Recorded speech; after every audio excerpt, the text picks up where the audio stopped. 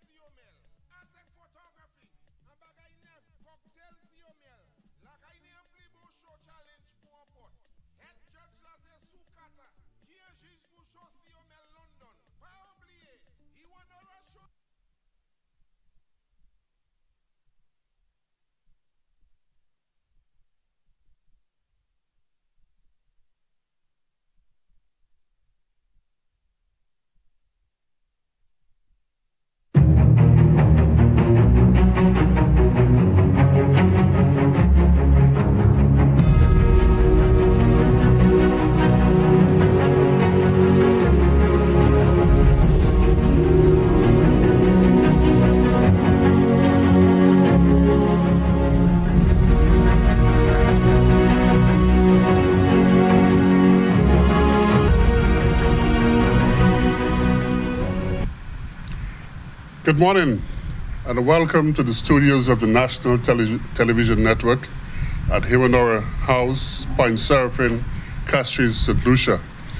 We are here broadcasting live from the studio in order to meet two objectives today.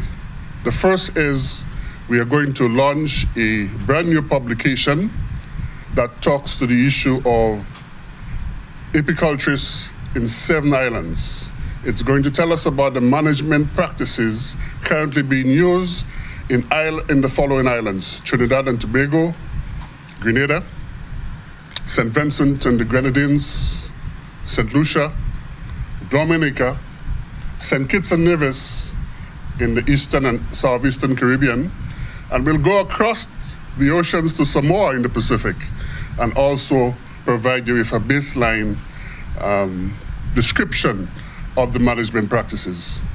That's the first objective today. The second objective is to launch the 2022 Hewanorra National Honey Show for St. Lucia. This year, exciting possibilities and expectations as we partner with IGY Rodney Bay Marina and link ourselves to the Atlantic Rally for Cruisers. We are going to be doing this uh, important activity on the 10th of December in Gros Islet Rodney Bay. In studio, we have a distinguished gathering of St. Lucians. We have Dame Paulette Louisy, who is the Governor General Emeritus of St. Lucia and a member of the National Steering Committee for the Global Environmental Facility Small Grants Program, UNDP, St. Lucia. We also have next to her Honorable Emma Hippolyte, a lady from Soufrière, perhaps one of the most precious pieces of estate in St. Lucia. The identity of St. Lucia comes from her constituency. I'm talking about the Pitons of St. Lucia. The, uh, Emma Hippolyte is the Minister of Commerce, Manufacturing, Business Development, Cooperatives, and Consumer Affairs. We also have uh, my colleague, Lorraine um, Nicholas, who is the UN Coordinating Officer for. Lucia, next to uh, another colleague of mine from UNDP, Dr. Prosper. And we have Kofi Dover, who's an architect on, that, on this project. Welcome, all of you. And of course, the inimitable Richard Matthias, who is going to be presenting on apiculture in. Lucia and on the honey show today. Without further ado, I want to begin this uh, session with a short welcome address. In 2012, the GEF Small Grants program arrived in St. Lucia to begin an autonomous country program, Prior to 2012, the Barbados and Eastern Caribbean program ran from Anguilla in the north to Grenada in the south. And your truly was the program manager for those 10 islands. However, on about 2010, the Caribbean islands, the governments of the Caribbean islands, at a meeting in Belize, decided that they wanted separate autonomous country programs. And therefore, it was my task between 2011 and 12 to transition many of these countries to separate independent country programs. And because of that, I returned to St. Lucia and applied for the position in St. Lucia. The country program in St. Lucia has funded in excess of 20 million US dollars worth of projects. We have projects all over St. Lucia. The last time I checked was 114 projects between 2012 and 2022. We have contributed to em employment in many ways. We have helped to reduce St. Lucia's carbon footprint. We have protected biodiversity of all kinds in St. Lucia. We have reduced soil erosion, and we have contributed to the training of our people in St. Lucia. An important thematic area for us is apiculture. In fact, the very first project we funded in St. Lucia was an apiculture project. It came as a result of the Ministry of Agriculture coming to us and saying that apiculture was on a downswing in St. Lucia. It had become dormant for many years and it required an injection of funding, a kind of renaissance. And therefore, we funded our first project in Choiseul and thereafter a number of other projects. To date, we have funded approximately 12 projects in St. Lucia in apiculture, 1.2 million US dollars worth of investment, and we are continuing to invest. In fact, before my board tomorrow, there is another project for consideration. We are here to stay in St. Lucia. We are here to work with the government and people of St. Lucia to, to attain sustainable development. Thank you very much for being here. Thank you very much for our studio audience and also for those joining us via NTN television, those joining us via Facebook, YouTube, and other social media platforms. Thank you, thank you, thank you very much. Without further ado, let me uh, invite Richard Matthias. Richard is the president of the Iyanola Apiculture Collective, one of the gentlemen pushing a more scientific approach to apiculture management and development in St. Lucia and the Eastern Caribbean. And Richard will be off to Samoa next year. I'm very proud of that to assist our colleagues in Samoa in developing the apiculture industry there. St. Lucia is exporting talent now, Minister. And we are going to continue to do that. So let me welcome, join me in welcoming Richard to the podium to do the presentation on the baseline study.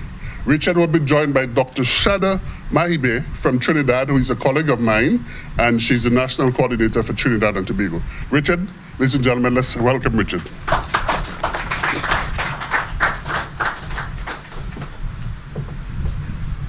Good morning, everybody. I would like to follow the established protocol and welcome you all here today. Um, it's my pleasure to present this presentation. Um, I hope our gentlemen in uh, the studio can bring it online for us so that you could all participate in what we're about to share with you. Um, yes, no. Studio. Ah, wonderful. Okay. Um, joining me this morning uh, will be my colleague, Dr. Mahabir. Um, we work very closely in work putting together this project. Um, and she's joining us live via Zoom um, to help with this presentation. So uh, she's going to lead us first, and then I will take over halfway through. And Dr. Mahabir, um, please take over. Hi. Hi, good morning. Um, first of all, all protocols observed.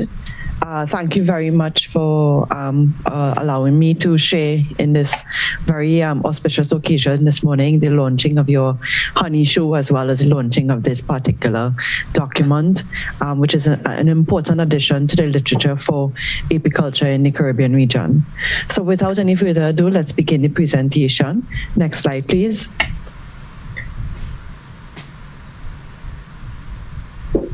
So, um, The regional project, as we commonly refer to it, had a number of important objectives. The first of which was to establish an efficient and effective knowledge management system, which is built on accurate baseline and diagnostic studies. Now, under this objective, what was supposed to be completed was our baseline study, which included a summary of the flora and fauna within the participating um, islands, as well as a capacity diagnostic study, which is basically an understanding of the knowledge, the attitudes, as well as the practices of the beekeepers in across the Caribbean. We're very pleased to, um, to announce, of course, that this, this part of the project is completed, and we are here to launch the actual document itself, which brings us to the results of the particular um, document. So next slide, please.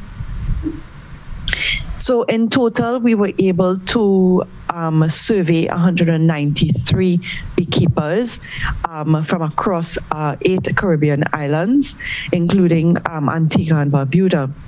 Uh, this represents, unfortunately, only 24% of the beekeepers in each of the um, in, in the total for the uh, participating countries, which seems like a, lo- a, a, low amount. But when considering that this project and this survey was completed during COVID under lockdown, as well as um, within the population of beekeepers, which are how should I say, beekeepers tend to be a little bit resistant sometimes to providing information to surveys.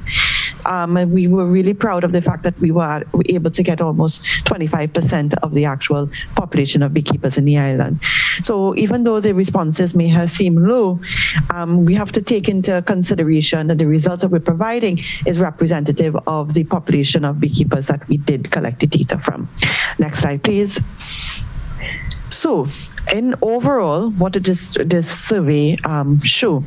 Well, first of all, that the majority of beekeepers across the Caribbean are male and that they are um, part-time. So most of the respondents were part-time beekeepers, but they were registered within their respective countries. Um, they also only had one to five years of experience. Now, it, what it just indicated to us was that the group of beekeepers who responded to the survey were actually they were younger beekeepers who were very um, enthusiastic about getting more information about expanding their beekeeping practice. In terms of apiaries and forage, what was extremely interesting um, was the fact that even though we had eight countries represented across the entire Caribbean, as well as in Samoa, which is on the other side of the world in the Pacific, we were able to still identify a number of common forage amongst all of the islands. And the common forage that these beekeepers indicated that their bees feed regularly off of are mango, coconut, avocado, palm, cashew, coffee, and gliricidia. Now, these particular trees are extremely important because they speak to the potential of um, expanding forage for bees. So now all of our countries can go out and plant these trees with the understanding that they will provide um, food and support for bee, bee populations, whether it be in a structured apiculture setting, you know, in, a, in an apiary, or whether we are providing it for feral bees or even native bees, bees that are not actually in a structured um, uh, system. In terms of apiculture knowledge and management, most of the respondents managed between one to 10 colonies, which they, they basically um, inspected every one to two weeks. And importantly, also, uh, the beekeepers themselves identify diseases as an important cause of colony collapse. However, they do not check for the diseases. Now, this is an important point that Richard will, will speak to later on in the presentation. But disease knowledge is something, uh, a, a, limitation that we identified in the actual um, uh, survey itself in terms of the participating beekeepers from the different countries. Most of the countries, their beekeepers who participated in our survey identified that diseases were a problem, but they weren't checking for them. Um, in terms of honey production, on average, the respondents indicated they harvested between one to three gallons once per quarter, um, that they also harvested beeswax, and they identified three main limitations for the expansion of their of, of their project or their or, or their um, their practice, and that was funding sourcing beekeeping supplies, and of course, technical support, which includes training, proper training, and understanding the practice of beekeeping. Now, this is an important um, finding um, because what eventually happened is that based on the results of the, of the baseline study, we then proceeded to develop um, other elements of this project in order to um, provide for the needs of the beekeepers that were surveyed. Here we have a map of the bees um, that were identified across the Caribbean based on the information provided to us by the beekeepers. What is clear is that European and Italian bees are present in most of the islands except Trinidad. Um, uh, Tobago has European and um, uh, Italian bees. Trinidad has native bees, which are the stingless bees, meliponas, as well as Strigonia. Um, those are very present, but Trinidad is characterized by Africanized bees. What is also of interest is that there is also an increasing presence of Africanized bees um, across the um, Antilles, which is knowledge that was not there before. Um, specifically, most countries um, in the Lesser Antilles um, believe that they do not have Africanized bees. And what this project was able to identify was that there is some level of Africanization of, of bees in some of the islands. And this is an important finding that also feeds into another project that Richard will speak to you later on. Next slide, please. All right. Um, uh, we skipped a slide, unfortunately. So the second objective was development of um, uh, training content and material that could meet the needs of beekeepers from across the entire Caribbean. Now, you would recall in, my, in our results from the baseline study that I just presented that one of the limitations that they identified was technical support and technical expertise, including training. Well, in order to address that particular need, this regional project created the first Caribbean online beekeeping course. And this online beekeeping course, can you just go back, please, consists of 17 modules. The 17 modules are outlined there. And this is a very unique beekeeping course because we contain two modules that are not contained in any other beekeeping course found anywhere in the world. And those two modules are the health and safety in beekeeping and gender considerations in beekeeping. We have actually um, released this course. Um, it is public publicly available on the website that you're seeing at the bottom of the page. And we've already run two cohorts of the course, and we have 182 graduates from eight countries already um, completing the course. And what we've also been able to do is that we've been able to get the blessings of GEF SGP, the University of the West Indies, ICA, SLBS, um, which is the St. Lucia Bureau of Standards, um, BestNet, which is a, a regional UNEP project found in most of the um, Caribbean islands that participated, the Ministry of Planning of Trinidad and Tobago, and the Association of Caribbean Beekeeping Organizations. Next slide, please. Um, okay, so this was actually the slide that was supposed to come before. So um, what we've been able to do for the course so far is develop the online beekeeping course, train um, the theoretical aspects of, of beekeeping, and then we are now, um, Richard is now going to visit each of the islands now that all our countries are not in lockdown anymore. And he's already completed training, practical training, and in Antigua and Barbuda, Trinidad and Tobago, Anguilla, and St. Lucia. He is to continue the training happening in the other islands very soon. Um, uh, Mr. Romulus Giles has already indicated that Richard would actually be going to Samoa next year, which is again um, an important um, achievement. So, you know, we, we're looking at actual in-person exchange aside from the, um, the online virtual exchanges that we've seen so far. Next slide, please. All right, so this is an example of the certificate that the participants of the online beekeeping course receives. Um, and you would notice that it contains all of the logos of the participating organizations that have uh, that have endorsed this online beekeeping course. Um, all of the um, uh, lecturers are presented at the bottom of the of the fee of, of the certificate, and they actually sign the course uh, certificates that are provided to the to the actual um, individual beekeepers who are trained. So we've had so far um, we've had three um, graduation ceremonies, one in Trinidad, St. Lucia, and St. Vincent and the Grenadines, and we look forward to having graduation ceremonies to hand distribute in person the certificates going forward. Next slide, please. All right. And this is where I hand over to Richard, who will now take over the presentation and speak to the research and innovation that has been um, pioneered through this uh, regional project. Thank you very much. Thank you.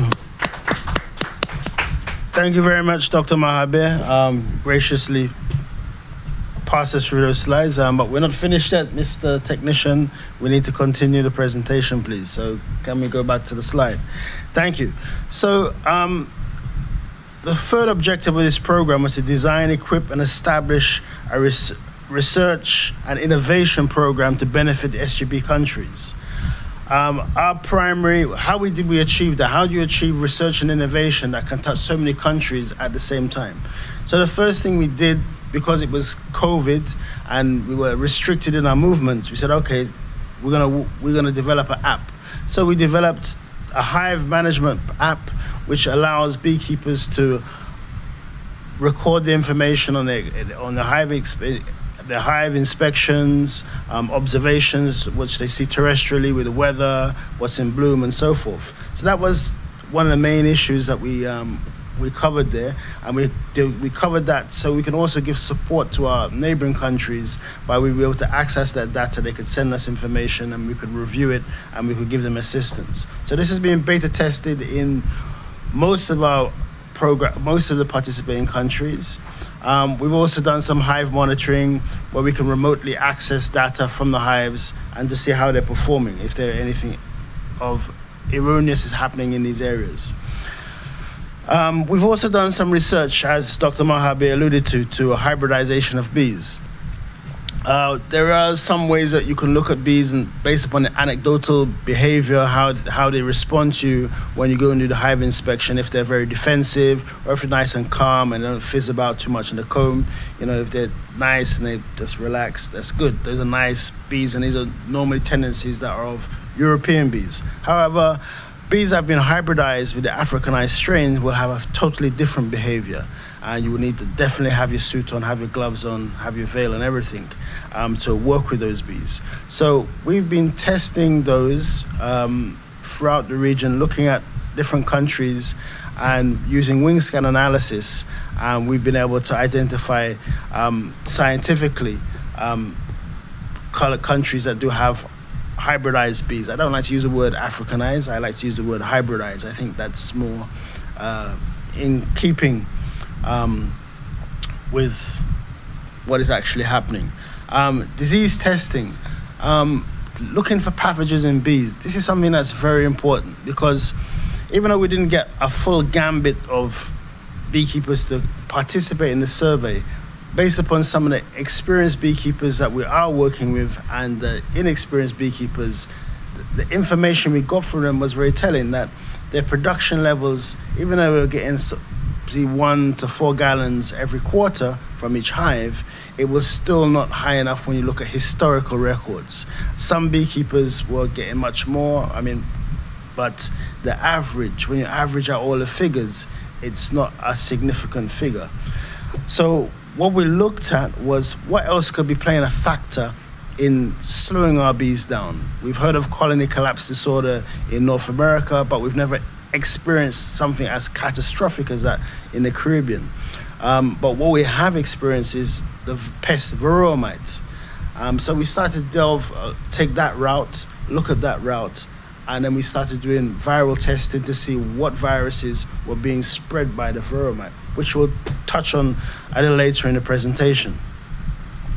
Next slides, okay, we're there. Wonderful. So, for research and innovation and monitoring, this is a this is a, a on the right hand side. You'll see one of the graphical user interfaces for a Hive app, which works currently on all Android phones.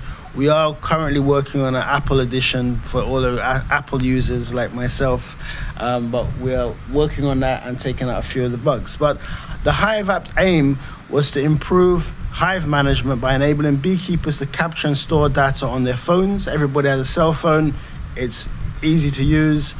Um, so they can capture hive inspection data, forage information, for example, what's in bloom, uh, weather, wind speed, uh, etc. Uh, so far, we have 97 beekeepers in 10 countries using the app. Um, so this is a very low-cost option, and it enables farmers, beekeepers to keep track of the information. One of the things with farming, farming, the farming industry, we are very poor on record keeping. So this tool should help us in that regards. Um, let's talk a little bit about the hybridization of honeybees. So in a combined team, um, ourselves at IAC, with assistance from Sir Arthur Lewis Community, College, uh, we were able to pioneer on continuing work that had been done by French experts, Afinov, in 2018, if I believe, under the Japan, the JCCP project. To, uh, we reaffirmed some of their findings um, using wing scan analysis. Um, um, what we did was look by using the left, looking at the left wing, um, we scan it and we are able to identify evolutionary images, lineages of subspecies of bees. Um, and this is very good information because not only we can be very specific as to what particular colonies of species or subspecies of bees that we have in the individual islands, as well as identifying the level of hybridization that may have occurred. Um, this, soft, this project uses software which enables semi-automated classification of bees based on geometric morphometrics of wing characteristics. And we trained two students from Arthur Lewis Community College um, to do this, and they actually took the work they did with us and entered it into the science fair, and they actually won the prize in their category. So this is, um, you know, young ladies that took an, an interest in biology and we were able to give them a real life, a real life, a real life experience to, to apply their biology skills, and they won a prize. That I think that will spur them on to pursue that field further in the future. Um, so let's go on to the next slide, please. Okay, so I touched a little bit on varroa mite across the Caribbean, and from our survey, we could see that varroa mite is pretty much extensive right throughout the, the Caribbean. And we've got basically our map there um, highlights almost every island. Um, the one island I went to uh, was Antigua Barbuda, and the island of Barbuda, we found no varroa mites in any of the colonies we tested there. Um, and that's something very, very, very good news for beekeeping um, because if we have to do run some virus scans there, and if those bees can come up clean of viruses, this is a great potential source for us to have um, for queens production for the region and maybe beyond that. So this is a very important finding for us, and that's come out of this project. Uh, well, kind of like uh, indirectly out of this project. So let's push on. So pathogen testing of bees. So what we've done so far, uh, we've taken bee samples from 10 apiaries uh, were collected from two countries in our in our um, regional project, Trinidad and St. Lucia, and we compared that to existing data. And we sent these samples to the uh, University of North, North Carolina State University, where they're accredited laboratory for bee pathogen testing. They do tests for all over North America. People send their bees there to be tested. So the, revi- the results advise the results advise on the diseases in the present in the Caribbean, and hopefully could guide us on a way forward. So, next slide, please. All right. So, for because these figures have not been officially published, we're not going to say which country is which, but we've got country one Guyana, country three, and the United States. So United States, as you can see, has every single thing under the world and under the sun, and is still able to successfully export honey all over the world and consume it. Um, there was some results that were which were presented at our ACBO Congress in 2020 by Guyana. So these are published results officially, um, and we've been able to uh, use those to benchmark our data. However, what the table indicates is that country one and Guyana both have similar viral loads, uh, viral loads to the United States, um, whilst three shows less similarity. But what is concerning is that all three, all three countries um, do have deformed wing virus strains, both A and B and deformed wing virus can be somewhat of a debilitating disease.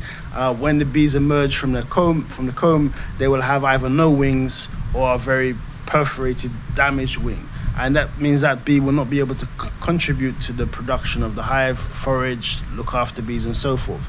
So it's very important that we look at that. And we also found um, Lake Sinai virus, which can also um, seriously infect, um, affect the performance of a colony of bees. So these two factors could be having a significant impact on the performance of our bees and the production that they're able to um, to achieve.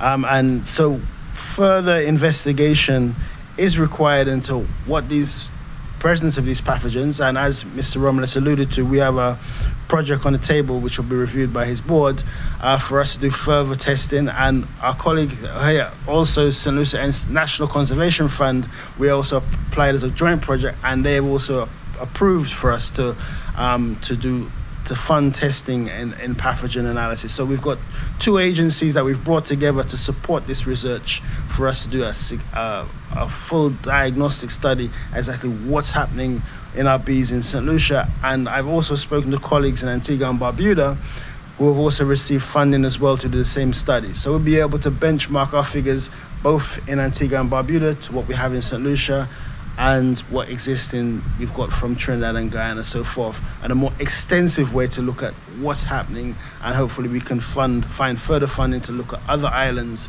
to establish what's happening in our Caribbean territories. So this is a fantastic um, opportunity that's going to be created 2023-2024. However, I must say, and I, I see my colleagues from ICARE here, which I'm happy to see them here, but in response to the varroa threat, um, ICA, in partnership with the Argentine government, brought apiculture experts to the region from Argentina.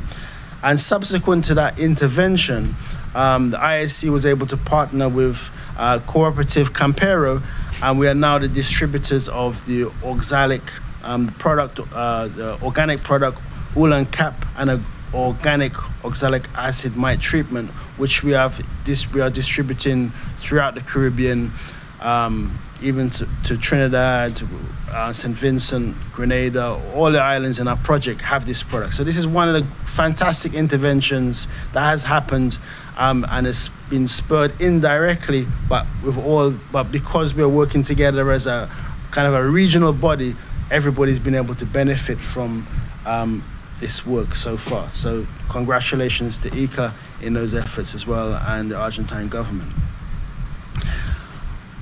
moving on. So one of the outputs for this project was the development of an institution uh, for apiculture to really thrive and live and develop and grow.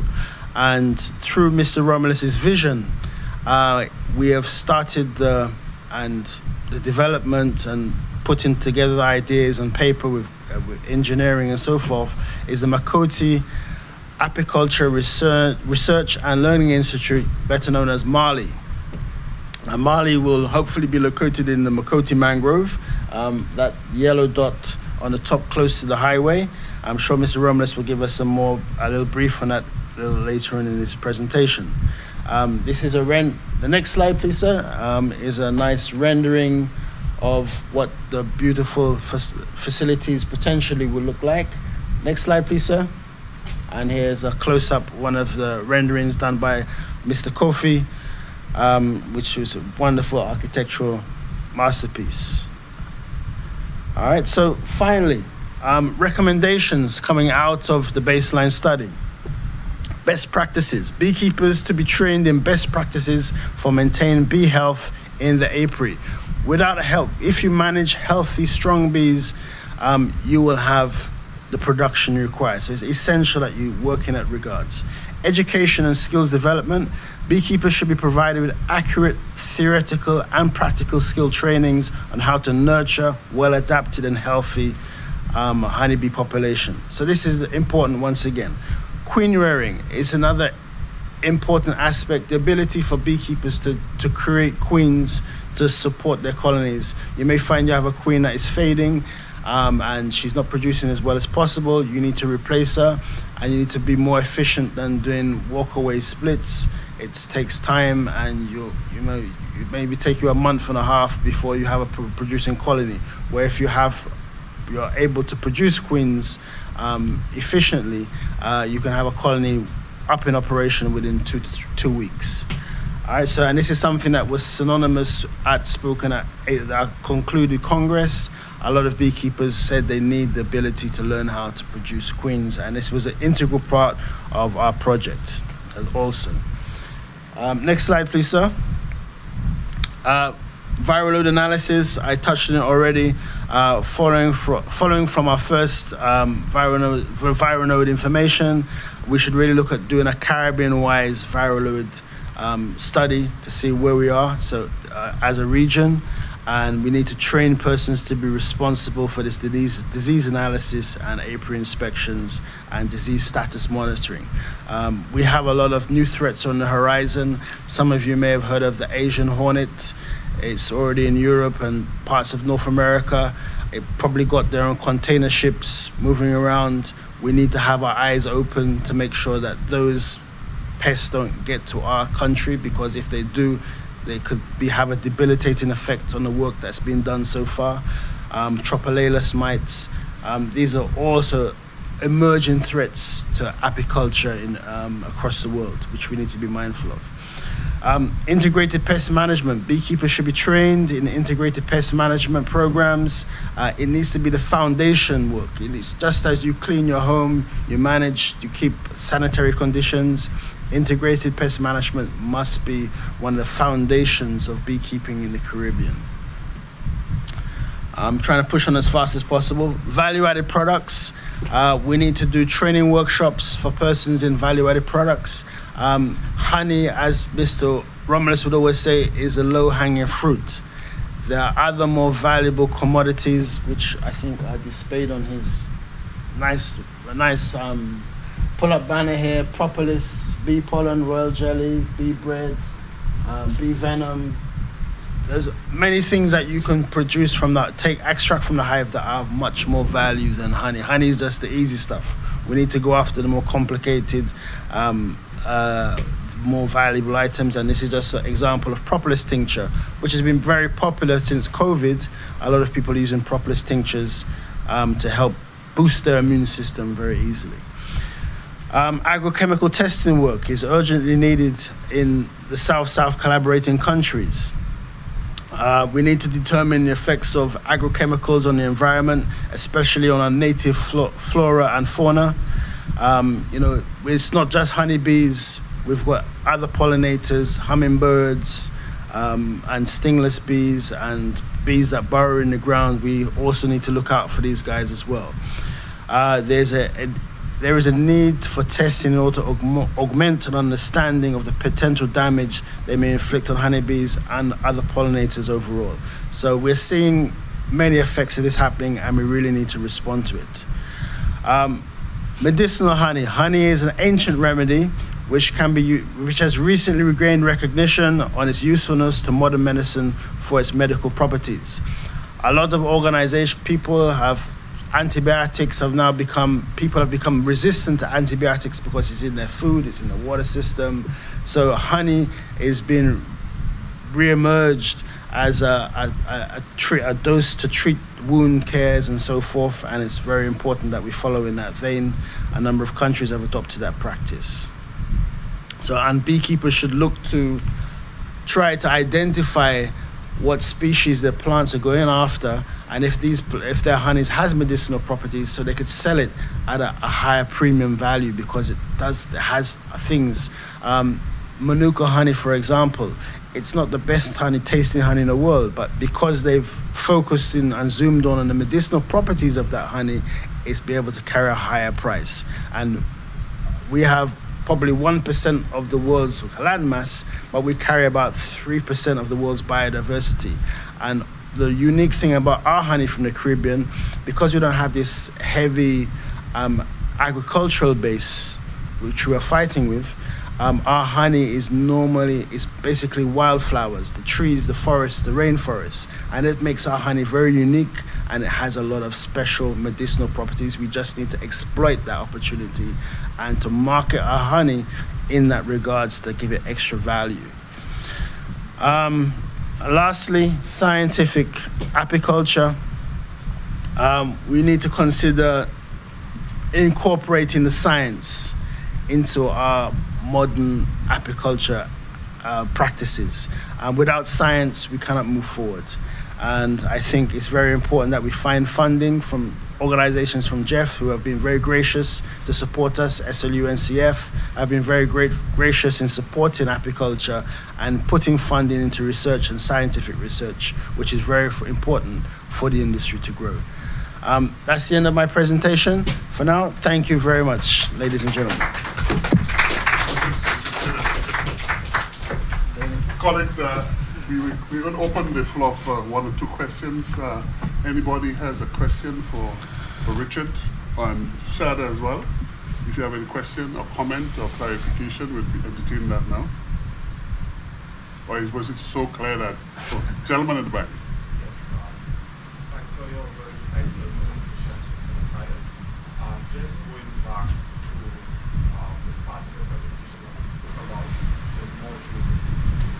Yes. Um, how can a normal person access or gain access to the training if they are interested in? Um, we have all of our modules are th- uh, on our website ionolapiculture.org um, they're free of charge. You can go and access them individually by yourself 24-7 however uh, we if you want to do it as an in- as an intensive training program uh, we do schedule one-on-one training opportunities uh, to, to get the certificate um, on a quarterly basis. So our next batch of training will be happening in January, second week of January 2023. Um, so if you go to the website, we'll have it advertised, and you could sign up sign up for um, to join the uh, training program then. All right, so but we all but the material and literature we have it as free of charge on our website because people need to get access to it. People who've completed the course may want to go back and check some information. The YouTube videos, the, the notes, and everything is there. Thank you, sir. Thank you, Craig.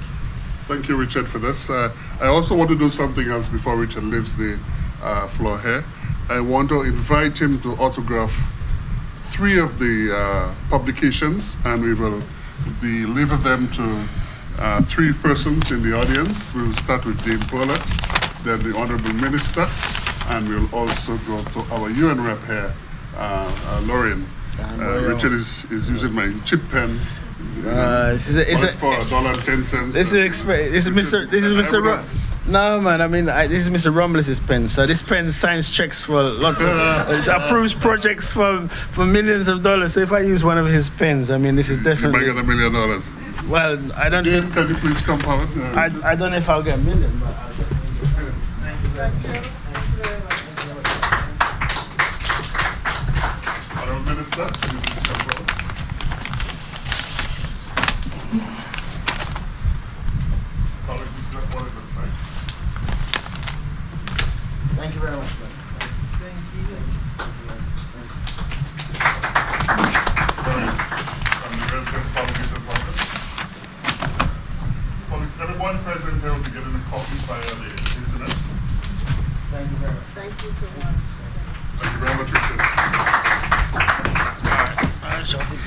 very much, Richard. I think from Richard's presentation, you'll gather a number of things.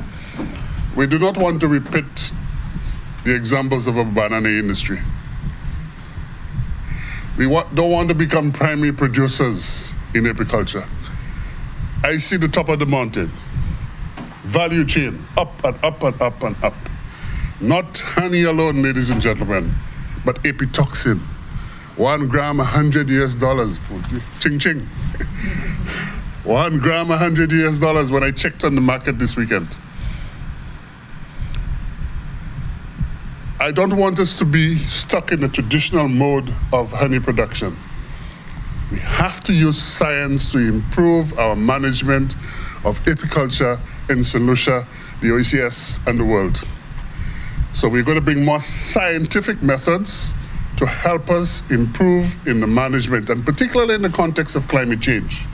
We are going to have to use science to help us to protect our bees and to improve production. Climate change is a reality. Our colleagues are in Egypt talking about climate change at this very moment. At this very, very moment. So this is what we're about, introducing science to improve, to develop, and to promote apiculture in the Caribbean. I want to uh, turn your attention to those graphics we have here. While we were thinking about apiculture, one of the ideas in the early days that came to me, and I'm sure Dame and Honorable Minister would remember, as you drove into Roseau in the 1960s, on the right was a research enterprise. Julius, my friend, will remember that. Ambassador Edsel Edmunds was the head of that research enterprise into bananas, diseases into bananas, types of bananas. Where is it now? Disappeared. Destroying the scientific foundation on which our banana industry was based. Let this not happen to us again. And therefore, it is because of that idea we are promoting MALI, the Mankote Apiculture Research and Learning Institute. This is designed using the hexagonal morphology of hives. Hexagonal morphology of hives. One, two, three, four, five. We are going to have one of this dedicated to apiculture research. Another to mangroves and coastal coral reefs. A third to gastronomy, the byproducts of honey. We can make banana essence. We should have been able to make 100,000 things from bananas. That research facility must bring us derivatives from the use of honey. And it must be used in St. And the world and promoted. And very important, we are going to use one of these for STEAM. STEM, science, technology, art, mathematics, engineering. We are going to find some of our best minds, young minds in St. And take them there on weekends or whenever, get our best teachers. Let us improve the scientific foundation of this country. Let us promote the culture of research. We are going to have the best technologies there. Let them think of problems and solve them. It is in solving those problems you build your capacity and your confidence in yourself. And that is what we're aiming. So this semicircular hexagonal shaped structure is going to be there for posterity to be used. But we're very concerned about our health too. To the left here, you see two little structures. This is going to be for apitherapy. What is apitherapy? We have a lot of problems with breathing these days, asthma, bronchitis, and so on. We have gone to Eastern Europe and found examples where bees are put in the flooring of buildings, and persons can go in there and breathe in the air produced by the, the bees. And that clears your esophagus, your breathing, and so on, improves yourself. And you can also improve your sleeping patterns. We are told that the, the bees may modulate their, their, their rhythm, let's say, or the melodies at night and that can sync with yours and improve your sleeping patterns. Apitherapy, we expect this to have high demand when it begins in that area. I'm going to book the first one and of course, we are going to have apitourism, having persons to visit this site, and of course, pay uh, a fee to go in there. So it's going to be our, perhaps our first center of research, learning, development for St. Lucia. The business plan calls for some seven to eight million dollars worth of investment. We are at the point today, the Development Control Authority, I know that because they told me that yesterday, they are looking at the recommendations we made for undertaking the environmental impact and social assessment of the site. So by next week, we need to have consultants in the field to do the EISA, which should be completed by January, and then we go looking for the funds. I'm optimistic. I'm optimistic that we'll be able to access the funding for this. Presenting MALI conceptually, watch it in a year's time, it'll be an actuality. And I thank Kofi Dover, our architect, who has given us a lot of pro bono. Um, you know, Kofi, stand up and take a clap, man. Kofi has given us a lot of pro bono assistance. Thank you, Kofi. Thank you very much. We now move on to the next um, point in our agenda. And this one is the presentation on Hewanorra Honey Show um, the results from our last honey show. Um, just to give you a synopsis of the results that came from an independent survey.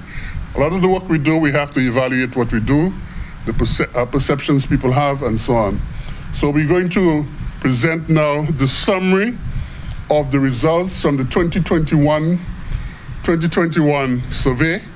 Uh, can you get the slides on, please? On, on, the, on the screen. So we gave you a sense of what St. Lucians felt about the first annual show that was held on the 10th of December 2021. And it was based on this we have now planned 2022. Uh, okay, here it comes. Summary of perception and financial impact study. You know how our people want to make some money from participating in those annual shows. So we did a, a study. Mr. Brandon, go back, please. Go back to the start. Okay, Mr. Brandon Antoine was the independent. Uh, he's an M&E expert. He's now an attorney at law now, I think, and I'm presenting the, the, the results. Next slide, please. What uh, Antoine did, he divided the population into three cohorts. That's honey show competitors and exhibitors who were based at the City Hall. There were 21 such exhibitors, and there were 83 exhibits. And there were exhibitors at Constitution Park. There were 16 of them. And then he also looked at visitors uh, coming to both Constitution Park and the City Hall, and 156 visitors were surveyed. Next slide. The methodology, he did his project document review, interview of key stakeholders, interview of visitors, key informant interviews, and also some non-participant observation to come up with his conclusions. Level of satisfaction. The honey show in the City Hall, we had an 80, 94% satisfaction rate. Uh, 6% of the interviews were neutral, didn't have a view. When it came to the exhibition in Constitution Park, another 94% satisfaction rate and 6% neutral. The Honey Show exhibition is an average or mean of the, the first two. When you look at the Honey Show exhibition for visitors of 156 persons that made up the, uh, the sample, 88% were satisfied and 13% were neutral, with 1% saying they're dissatisfied. Next slide. Did Honey, did, did Honey show an exhibition meet expectations? As you can see, met expectations in the 89 percentile range. Everybody was above 88%. Uh, did not meet expectations, 12%, 13. Some of the reasons varied from the costs. Uh, we did not uh, invest in uh, some of our um, exhibitors. We expected them to cover the costs, and that uh, contributed to uh, comments such as this. Next slide. Participation in future shows, you can see 100% said yes.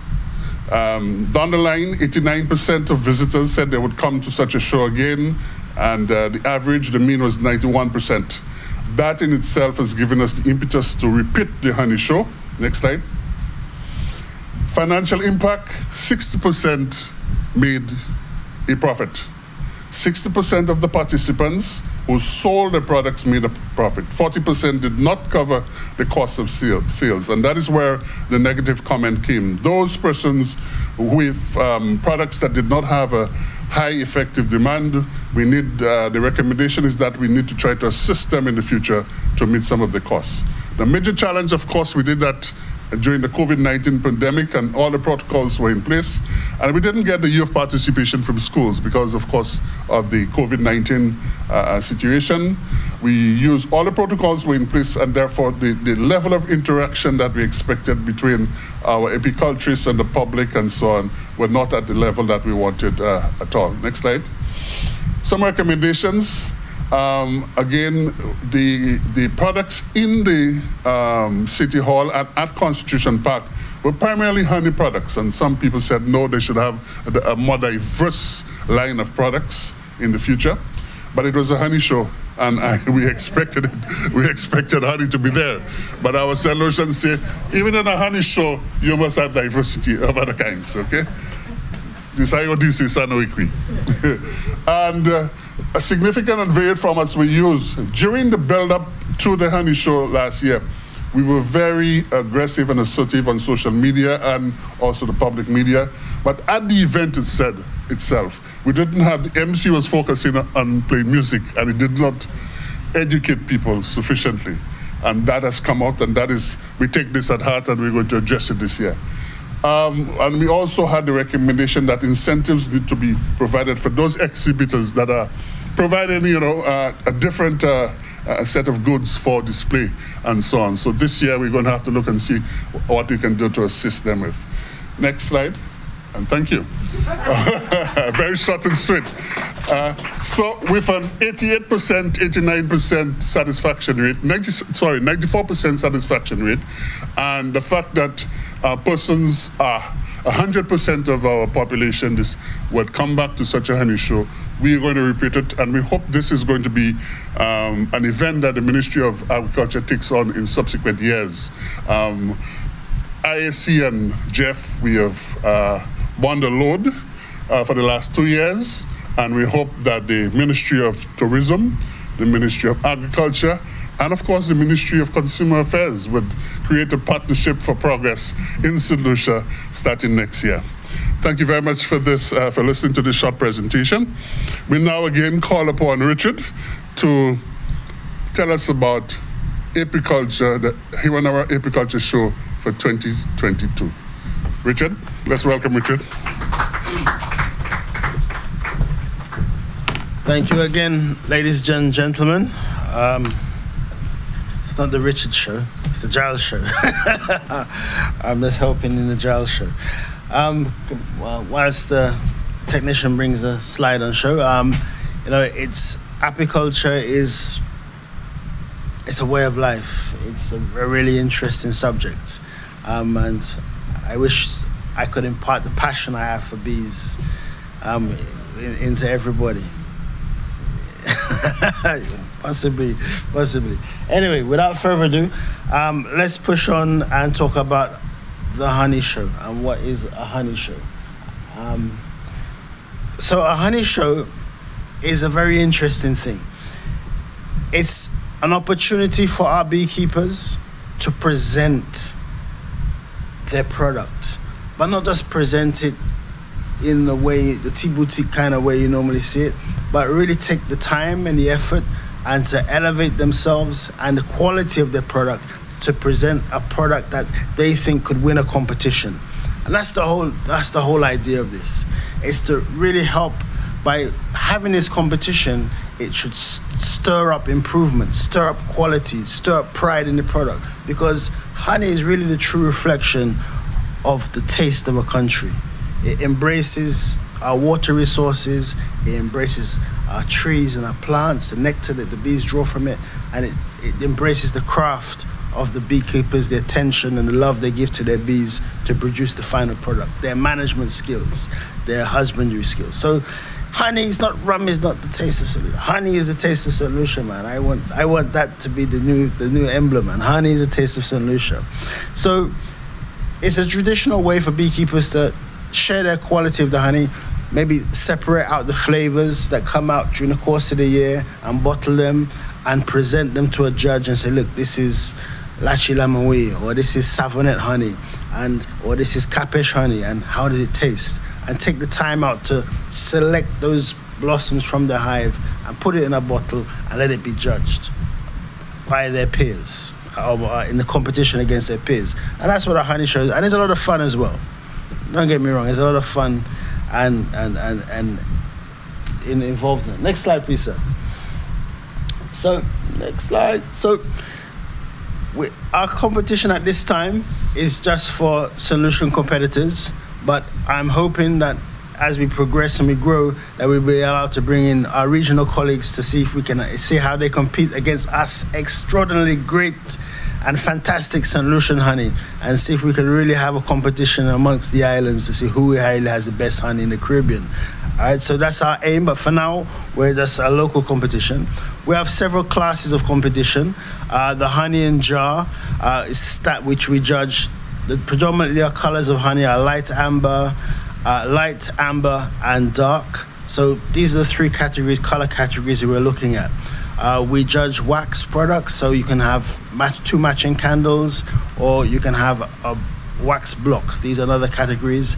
Uh, one which is open to the general public is our bake, as our, our baking with honey. So we have our standard cake recipe, which we have this standard cake recipe, which we give to everybody and say, go make this cake and bring it back the day of the competition. And we pick the judges pick the best one based on moisture, taste, and your ability to follow the instructions. Um, and then we have honey baked goods where you can produce a cake or cupcakes or biscuits or anything containing honey of your own interest, which you like, which you desire, and we will judge it and it will be presented. Uh, we have art and photography. We have a junior art and an adult art. Um, the theme must be something to do with beekeeping or contain a bee in your picture, which you draw. Um, and similarly in photography, the same rules apply. Um, and our latest addition to the show is our honey cocktail drink. And of course, synonymously, uh, our brand of choice is Bounty Rum. the spirit of. Lucia. So, so we've got the spirit and the taste of. Lucia coming together in a, in a cocktail. So hopefully um, that's going to be very interesting and the St. Lucian public and visitors can enjoy that. Um, I'm not going to go too drill down too much in the details, but this is the criteria of what we're looking for. That everybody will not it will be given an identical jar to put their honey in, so there will be no um, well, with the favoritism. So everybody presents their in an unlabeled standard jar, which everybody gets the same jar, and it's just got a code in it to identify each competitor. Uh, so the judges just see a number; they don't know who the number belongs to and they will just judge it based on uh, clarity, cleanliness of no debris in the jar, no fingerprints on the jar, the viscosity, the moisture content is below 20%, the aroma, taste, and color. So that we're just looking at these categories and it will not be totally blind as to who the product came from. Um, and this is just a color chart. So our honeys in St. Lucia are somewhere around here majority of our, honey is. So this is the color categories we're looking at. But if your other countries will produce very light white honey, but our colors are here because and you know and the, there's a saying: the darker the honey, the more medicinal the values properties are. So this is so our honeys are very dark in in color, so it has more medicinal properties. Uh, moving on, uh, we have the honey and comb, which is basically a, a, a, jar as such, with a piece of comb inside of it, filled with honey. That's another category, and it's an example of a, a, a winning a winning piece. Uh, we have the beeswax, and oops, next slide, please, sir. Uh, the beeswax, um, so one pound of of beeswax, you can put it in a nice case like this. The judges are looking for the aroma, the color um, no bits of debris in it. So we're looking for a quality product that's really good because most beekeepers will sell on their beeswax to people who produce cosmetics or hair products, and you want to know that the person, so the guy that produces the best beeswax will probably be a good candidate to supply these people with good products. So you really want to help in a, raise the standard of this product so that you know when you pass it on to a, a, a customer, they know they got a first class product also. Um, next slide. Uh, commercial class. We've kind of changed the commercial class this year. Last year, the commercial class was just for com- commercial honey. So, the, as you would see the honey in the bottle in the supermarkets or your local corner shop, but we've now increased the variety to include any product that has an extract from the hive. So, it could be honey, or it could be somebody making propolis, or it could be somebody making a cosmetic product, but the but your product must conform to Bureau of Standard regulations. So your labeling must be right and so forth. So another way once again to try to improve the standard of the products being produced through the sector. Um, and, and, and so you know so that we have this elevation this this natural progression of products that become better and more exciting and interesting.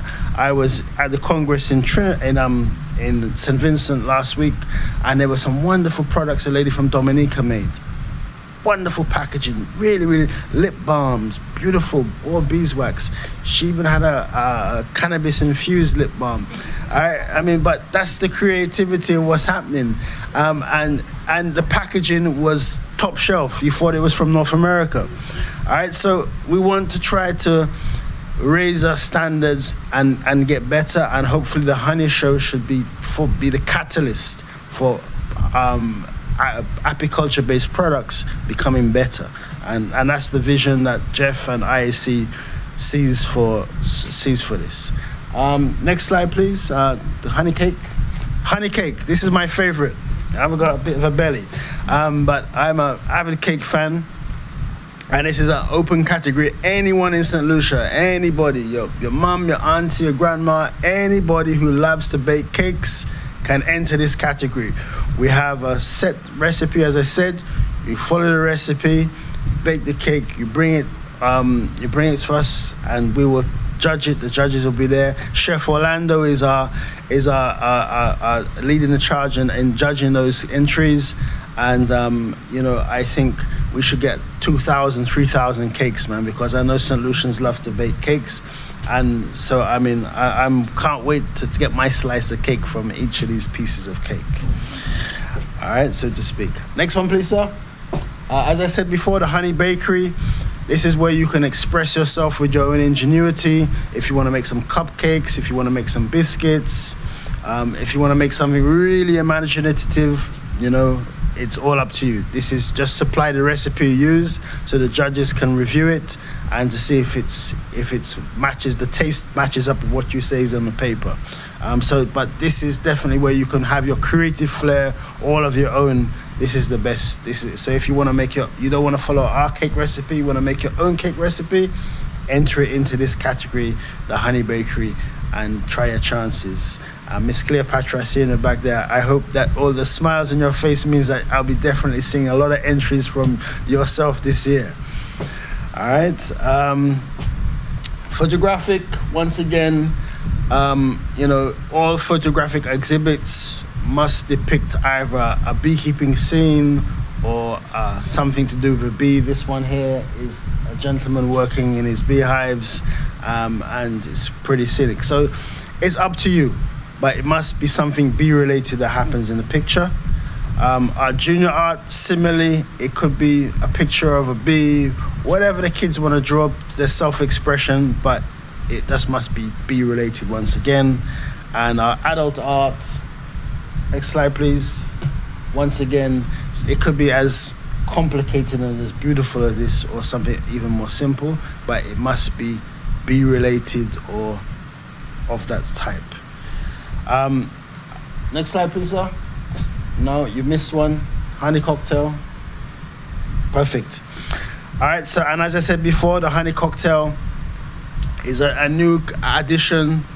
The taste of St. Lucia, oh, sorry, the spirit of St. Lucia means the taste of St. Lucia, and we combine them together. Um, set rules. It must not be a shot. It has to be a, either a short, a short drink or a tall drink. Um, you got, I think, eight minutes to make the drink and you got to also have some pre-samples available for the crowd to judge so they can give some crowd support to the judges to see who wins all right but that's it for me on the honey show i think um, we're gonna have a, a, hopefully a fantastic event in fact i'm sure we'll have a fantastic event we've got a lot of sponsors involved from the ARC Ministry of Agriculture, of course, GEF SGP, St. Lucia, St. Lucia National Conservation Fund, um, this the brewery, um, IICA. Um, wow, we have a. It takes a lot to put off the app. There you go. Yes, thank you for the support, sir. Um. Tourism Authority, Massy Stores. Um, one important one, VitaBee Health, the CEO of VitaBee Health. It's the largest um, bee supply, health bee supply products company in Europe the CEO, Mr. Owens, will be flying in. He's an avid, he's a, he's done the Atlantic Cruiser for Rally for Cruisers twice, and he said, Richard, you're doing this.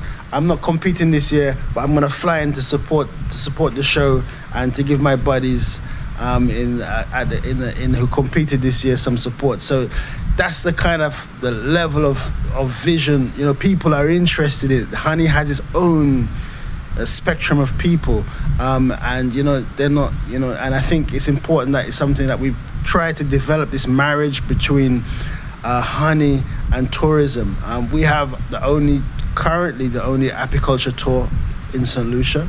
Um, we have our site in VG, and we have we work closely with Cox and Company Uh, we started last year with assistance from, once again from a grant from GEF. We set up our little facility there. Um, last year was a little tough because of COVID, but this year we're now listed on, I think, five of the major cruise ships. All right, so from December right through to March, we are packed with tours, um, and that's a real blessing because a lot of the people that I have trained, um, I'm trying to push them into listen, do this, do this. I don't want to do it, but you could do this and you can make a, you can manage this and you could run with it. I don't really have to be involved in it. I can give oversight and guidance, but it's really for the young people to participate in that and run with it, and that's what I'm trying to do. Um, and in all the projects I'm working on, we're working with the Department of Sustainable Development.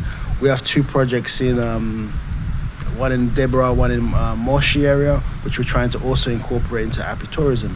So it's a very important part of the future. So with no further ado, because I see Mr. Romulus is going to punch me in my head soon, I will thank you for your time and your listening ears. Thank you very much.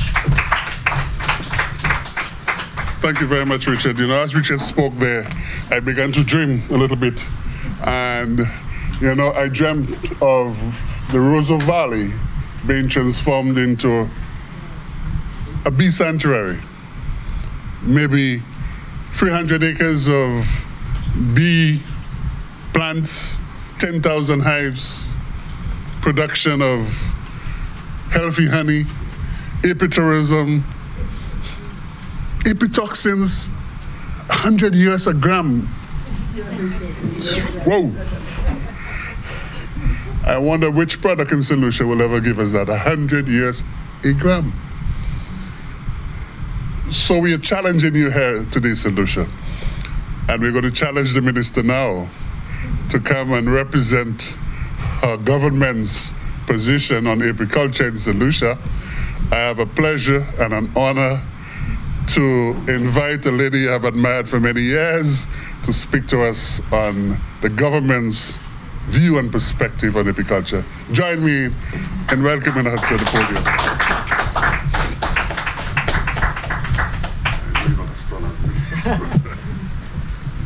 Yeah, we good. I think so. Yeah. yeah.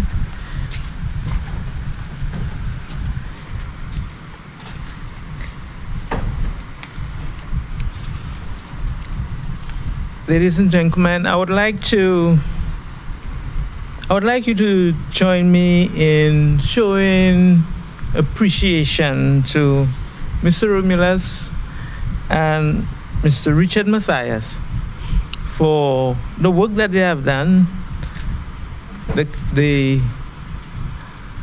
courage. But you know, as I sat there and listened to to Richard in particular, Mr. Romulus is always there, visioning, dreaming, bringing us to the other level. But I'm happy that he is equally matched by Richard in terms of this particular area, in terms of honey. So let us show appreciation to these two gentlemen.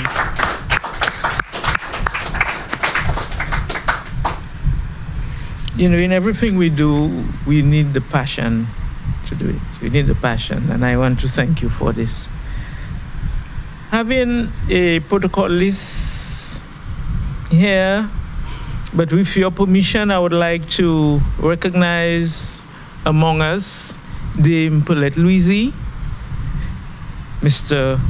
Romulus, Mr. Richard Matthias. Uh, we had a presenter before us in terms of Dr. Chandra Mahabir, and we had, I believe, some UN representatives here in the audience with us.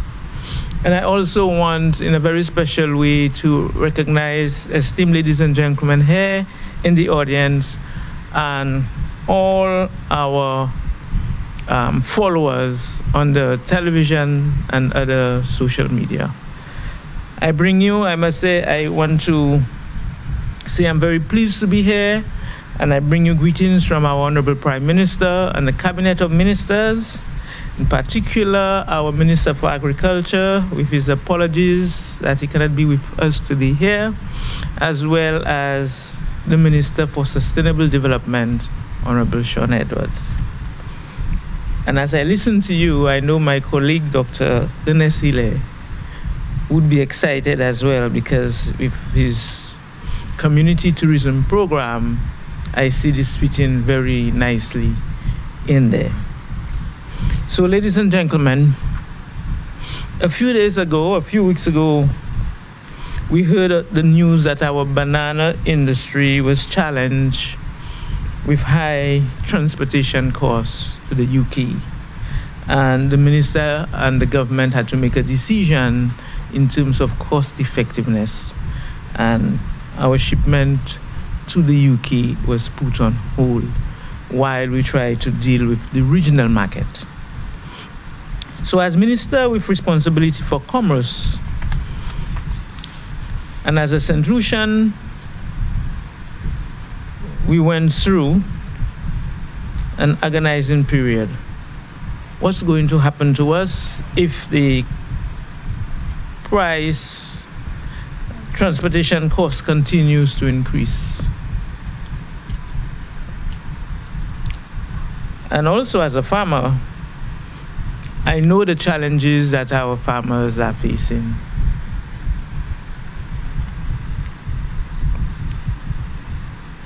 So, as a minister, as a parliamentary rep, when I speak to my farmers, they come to my office and they want all types of assistance. But how would our farmers survive? I pondered. And I immediately asserted that as a government, we must do everything possible to assist them.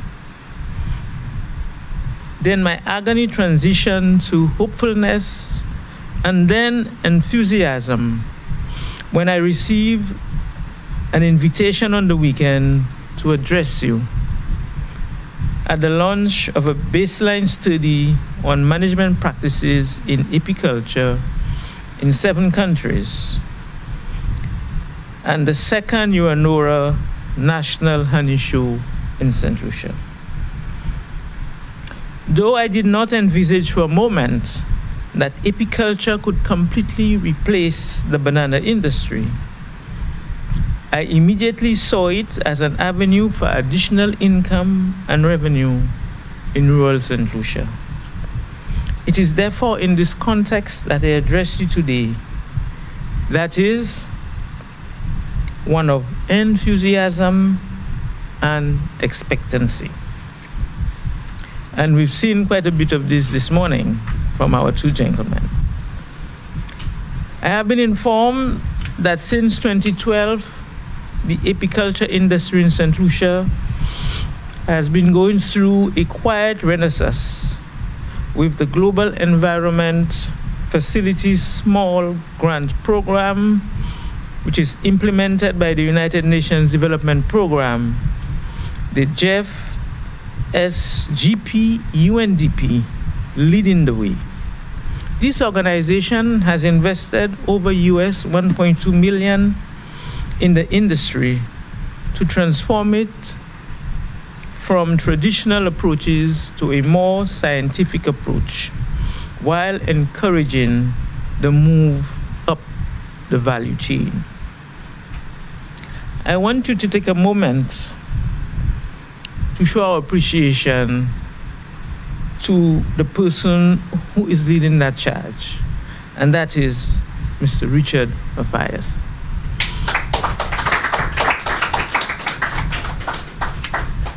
I say so because you may not know, but Richard knows that at one point I was a bee farmer myself. so I, I understood, I'm understanding very clearly where we are, where we were, and where he's taking us. So I really want to, to say thank you to you today, Richard, for the work that you're doing. I was also informed that the global honey market stood at US $8.17 billion in 2021 and is expected to grow at a compound growth rate of 5.2% between 2022 and 2030 to over 13 billion US dollars. My conclusion from these figures, though, is that though the demand for honey in St. Lucia is much higher than the supply, I wonder if there were products and byproducts St. Lucia would benefit from. In fact, my immediate thought was that we should not repeat the mistakes of the banana years by remaining only primary producers. And you've heard Mr. Romulus giving us that same message. But we must make every attempt to move up the value chain. In my research thus far, I have made five exciting discoveries about our growing apiculture industry in St. Lucia. And they are as follows. One, between 2012 and 2022, four new organizations in St. Lucia began producing honey. And production among GEF SGP grantees increased by approximately 30%. Two, apiculturists have successfully moved up the value chain and we can now successfully extract honey, bee wax, propolis, bee pollen, and apitoxin. Our research has informed us further that one gram of apitoxin can sell for US $100 and higher, depending on its purity and if sold to pharmaceutical companies on the international market. Our experimental export from St. Lucia to France for apitoxin creams recently yielded US $1,500 for 400 for 40 grams, sorry. That is US $37.50 per gram or EC $100. Can you tell me if any industry rises to that level in St. Lucia at the moment? Three, in St. Lucia, we have successfully integrated remote monitor- monitoring technology in hives, which can allow a farmer to monitor the health of his or her hives from almost anywhere in St. Lucia and the world. The efficiency here cannot be over discounted.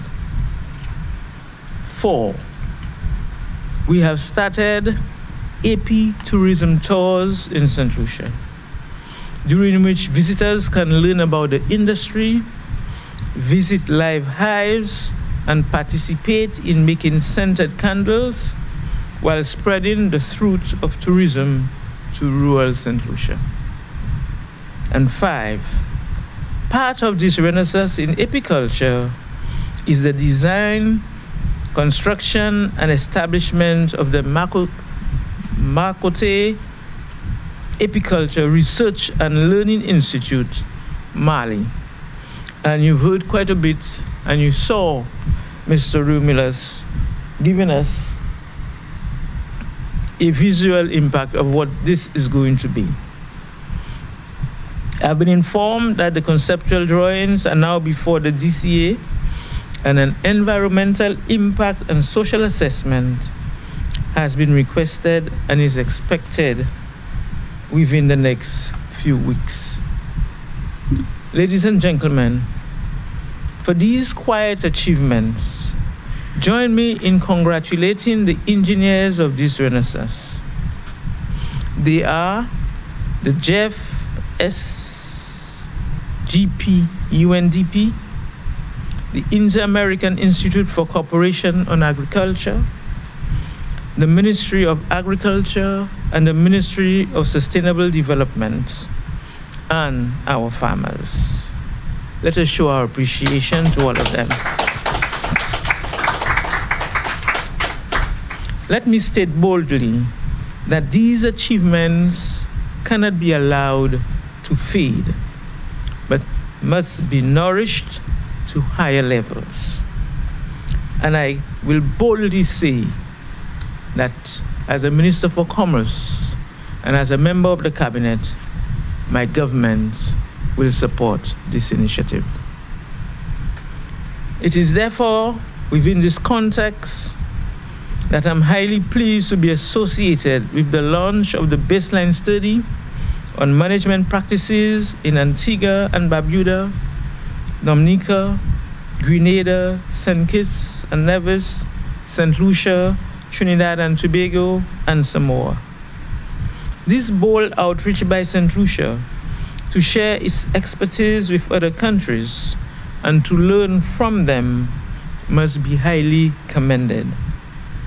I understand that the document points to areas in which improvements are required and donor funds can be sourced. I therefore call on the multilateral, bilateral, and the private sector to assist our government in addressing the needs identified. I'm also elated to declare the planning and implementation period for the second Hewanorra Honey Show open. With this activity wisely connected to the Atlantic Rally for Cruisers this year, my government notes this partnership of over 10 organizations contributing to making this event a reality.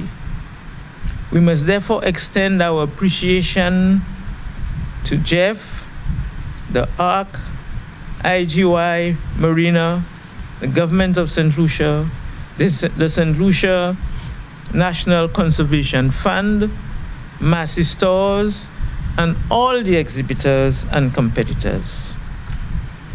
Let us make the second show at least one Gros Piton height above last year's, and let next year begin to participate in the International Honey Show in the United Kingdom. This is a challenge, but I think we can achieve that. I end this short address in a state of great expectations for the apiculture industry in St. Lucia and the islands of the Eastern Caribbean, and appeal to the OECS Secretariat to begin to play a more central role in that industry with such great potential. I am further overjoyed that those persons leading the renaissance of the apiculture industry in St. Lucia have adopted a scientific approach and will seek not to repeat the mistakes of our banana years. Let us therefore be resolute and move towards creating a thriving industry for present and future generations and let me commit the support of the Ministry of Commerce, especially Export St. Lucia, to the marketing and promotion of this industry. And I'm very glad that the Bureau of Standards is already working with you in establishing international standards. Finally, let this event be an impetus to the development of the apiculture industry in St. Lucia and the other participating countries. Ladies and gentlemen, may the good Lord guide us on this journey. I thank you.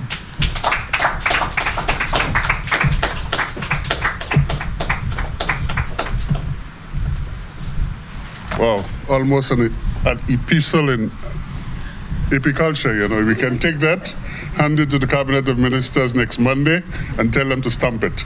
I'll be at the door to receive a copy, okay? I'll be there to receive a copy and distribute it. Um, really pleased, Minister, for this uh, speech. I think you have captured the direction in which we're going. I think your support is noted. We certainly will be calling upon you for your assistance. And I have a little story to, to tell you. If Usain Bolt had not persisted beyond Greece, none of you would know Usain Bolt's name today. In his very first Olympics, he didn't even place in the top five. I think he was number seventh in the 200 meters. But remember Beijing, 9.69 seconds. Remember Berlin, 9.58 seconds. Well, a good friend of mine by the name of Richard Matthias decided to send a bottle of honey to England to try a thing. You know, just try it. Uh, let's see how we're going to fare. Didn't make any preparation, merely poti langlite. The United Kingdom International Honey Show was a few weeks ago. He did better than Usain Bolt. he came second. He came second in the category that was identified and in which the honey was placed. Is that not true, sir? I don't know why. He, I don't know why. I don't know why he is so embarrassed by coming second in the category at our first attempt. At our first attempt.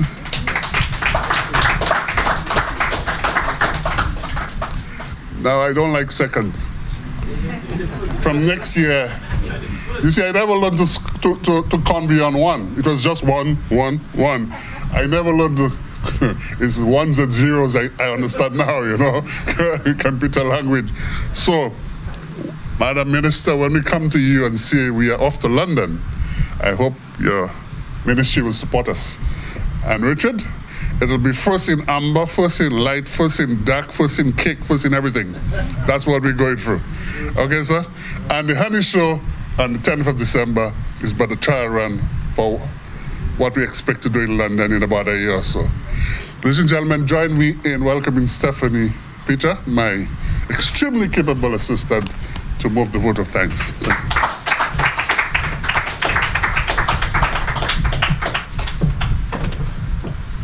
Thank you, Mr. Romulus. Let us accept the protocol already established for today's proceedings. The GEF SGP UNDP and the Iyanola Apiculture Collective extend appreciation to our distinguished Governor General Emeritus, Dame Dr. Pearlette Louisy, who is also a member of our NSC for always supporting our various public events. We are deeply appreciative for your continued support and enthusiasm in our work. Our distinguished Minister of Commerce, Honorable Emma Hippolyte, agreed to participate despite our late request and her busy schedule. We bow to you, Minister. We also extend our appreciation to Mr. Julius Polius, a member of our NSC, for coming to our support. To Dr. Shada Mahabir, our colleague, national coordinator from Trinidad and Tobago, we send our warmest appreciation as well as all those who join us via various platforms and the NTN television. We thank our colleagues from IICA for the continued support. A special thanks to Mr. Sean Duveau, the manager of the Rodney Bay Marina, whose support this year will take the Honey Show to a higher level of outreach, and we hope profitability for our exhibitors. To all our sponsors who have come on board to date, the Government of St. Lucia, Export St. Lucia, and Massy Stores, we also extend our appreciation and look forward to continued cooperation in the future. Finally, a profound thank you to Davina Lee and the staff of NTN GIS for providing us with the facilities to broadcast and promote this event live. Ladies and gentlemen, I thank you.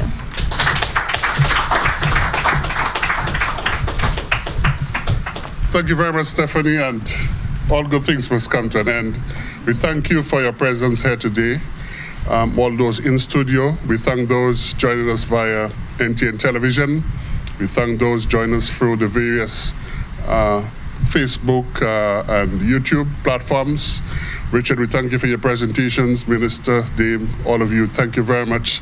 Ladies and gentlemen, thank you very much. Au revoir, à bientôt. Bye-bye. Thank you for joining us. Bye.